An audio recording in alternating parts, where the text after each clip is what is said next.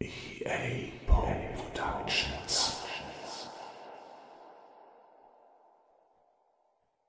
EA Productions liest Theodor Koch-Grünberg Indianermärchen aus Südamerika. Heute Schildkröte und Jaguar. Die Schildkröte schrie, Meine Verwandten, meine Verwandten, kommt herbei! Der Jaguar hörte sie, eilte herbei und fragte, Warum schreist du so, Schildkröte? Die Schildkröte antwortete, Ich rufe meine Verwandten, damit sie mir meine große Jagdbeute, einen Tapir, verzehren. Einen Tapir, sagte der Jaguar. Willst du, dass ich ihn dir zerlege? Ich will es wohl, sagte die Schildkröte. Schneide ihn in zwei Hälften, eine für dich und eine für mich. Dann geh und suche Brennholz. Die Schildkröte entfernte sich.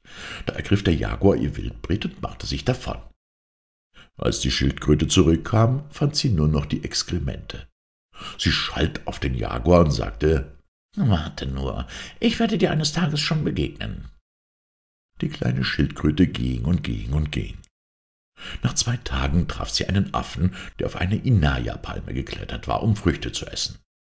Sie sagte zu ihm, Affe, wirf mir einige Früchte herunter. Der Affe antwortete, Steige herauf, bist du kein Mann? Die Schildkröte antwortete, Ich bin gewiss ein Mann, aber ich will nicht hinaufsteigen, weil ich ermüdet bin. Alles, was ich für dich tun kann, das ist, dass ich dich hierher hole, sagte der Affe.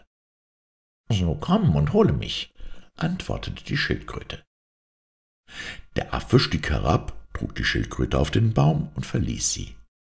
Die Schildkröte blieb dort zwei Tage, da sie nicht wusste, wie sie wieder herunterkommen sollte.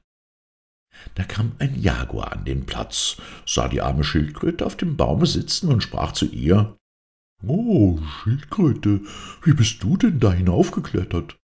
An diesem Baumstamm, erwiderte die Schildkröte. Der Jaguar, welcher Hunger hatte, forderte sie auf, herabzusteigen.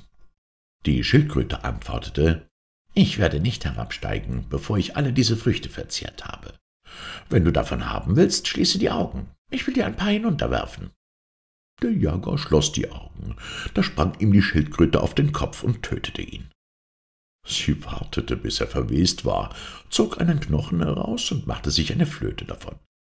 Dann ging sie weg, auf der Flöte blasend und singend Der Knochen des Jaguars ist meine Flöte, fri, fri, fri.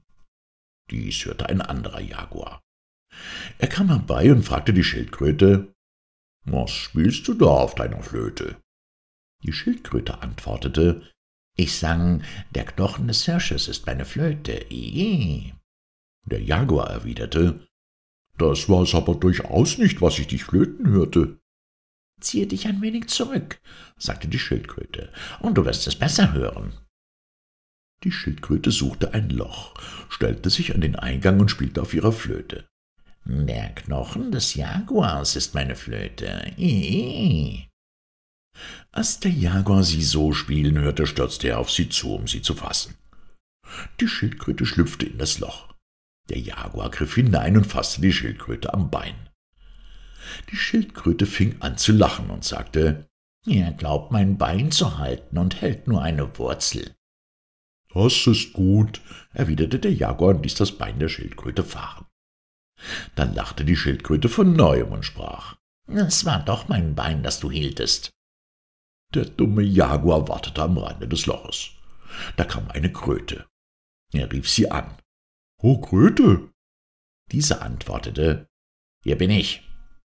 Der Jaguar sagte, die Schildkröte hat sich in diesem Loche versteckt, und ich will sie greifen. Bleib hier und bewache sie. Ich will eine Hacke holen, um sie auszugraben. Der Jaguar ging weg. Die Schildkröte erschien nun am Eingang des Loches, erblickte die Kröte und sagte zu ihr, »Oh Kröte, was machst du da?« »Ich bin hier, um dich zu bewachen«, sagte die Kröte. »Dann öffne deine Augen«, sagte die Schildkröte. Die Kröte riss ihre Augen weit auf, und die Schildkröte warf ihr eine Handvoll Sand hinein. Während jene sich die Augen blieb, verließ die Schildkröte das Loch und machte sich davon. Bald darauf erschien der Jaguar mit seiner Hacke und fragte die Kröte, »Wo ist die Schildkröte?« »Sie ist im Loch«, antwortete die Kröte. Der Jaguar begann zu graben, zu graben und zu graben. Das Loch war sehr tief. Ganz ermüdet ließ er endlich die Hacke sinken und fragte wütend die Kröte, Wo ist denn die Schildkröte? Die Kröte antwortete, Ich weiß es nicht. Das sagte der Jaguar, Du weißt es wohl, du hast sie entwischen lassen. Jetzt sollst du es mir büßen. Mit diesen Worten stürzte er sich auf die Kröte und verschlang sie. Production.